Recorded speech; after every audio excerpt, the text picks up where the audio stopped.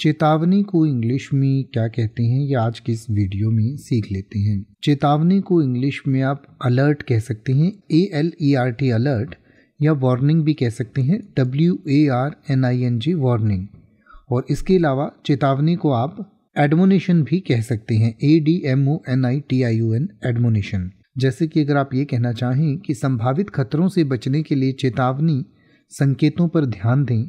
तो आप कह सकते हैं heed the warning signs to avoid potential dangers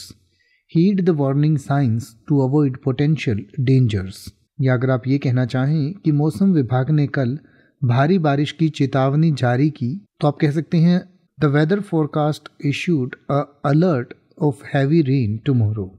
अब आप ऐसे ही किसी भी वर्ड का मतलब हिंदी और इंग्लिश में यूट्यूब पर सर्च कर सकते हैं। आपको मेरी वीडियो मिल जाएगी, जिसमें आप बिना किसी फालतू बकवास के सीधा उस वर्ड का मतलब समझ पाएँगे। तो ऐसी ही वीडियोज़ को देखते रहने के लिए चैनल को सब्सक्राइब करें और बेल आइकन को प्रेस करें।